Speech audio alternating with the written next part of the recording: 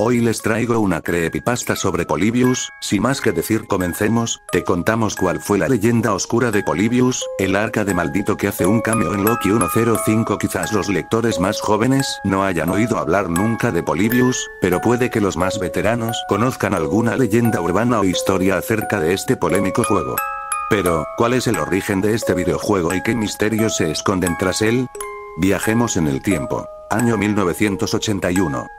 Todavía no existen la Game Boy, la Master System o, ni mucho menos, la PlayStation. En la tecnología punta se situaba Atari, y para los más privilegiados, es decir, los niños de las películas estadounidenses. Todo esto en la edad de oro de los salones recreativos. Polybius era uno de estos juegos recreativos. Supuestamente, se introdujeron siete máquinas en varios locales de Portland, Oregón. El juego rápidamente consiguió bastante popularidad por el formato que presentaba. Consistía en manejar un caza espacial, cuyo objetivo era atacar una nave nodriza, de la que salían otras aeronaves que se enfrentaban a la nuestra. La novedad era que nuestra nave no se movía, ya que permanecía continuamente a la derecha de la pantalla y, al girar, lo que se movía era la nave nodriza, como si estuviésemos rotando alrededor de ella. Todo un despliegue de efectos especiales para la época muchos de los jugadores comenzaron a quejarse de depresión, pérdidas de memoria, terrores nocturnos, etc.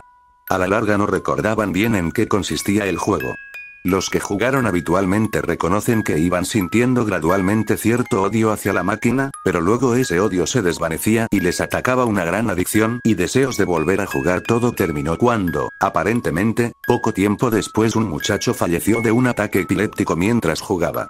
Al siguiente día aparecieron hombres de negro que retiraron las máquinas de la ciudad, y no se volvió a saber nada de ellas. Estos son los detalles grosso modo, pero esta historia tiene muchos más complementos que la convierten en todo un expediente décimo.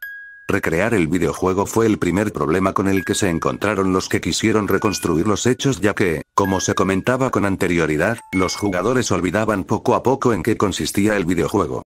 De ahí que no se pudiese obtener mucha información, algo muy útil a la hora de crear una leyenda urbana, pues evita tener que dar datos concretos. Lo que sí recuerdan es que, en algunas salas recreativas, había hombres trajeados a cierta distancia de las máquinas, que tomaban notas y, a veces, se acercaban al aparato y la manipulaban. En una ocasión, tras una de estas manipulaciones de la máquina por los hombres de negro, un grupo de chicos se acercó y se dio cuenta de que habían dejado abierto un panel de control en la pantalla. En él se podían leer varias funciones que podían regularse. Amnesia, terrores nocturnos, alucinaciones auditivas, índice de suicidio. Bueno amigos espero que les haya gustado denle like comparte y suscribirse, nos vemos, adiós.